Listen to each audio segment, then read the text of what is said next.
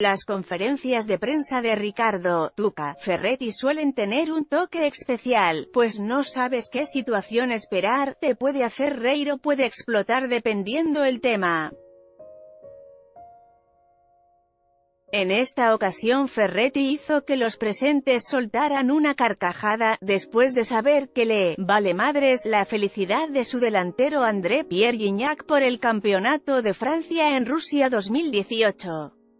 Cuando fue cuestionado sobre las, la situación que vivía el cuadro galo, Tuca Ferretti se dijo triste porque México y Brasil no puedo hacer mucho en el certamen mundialista número 21 en la historia.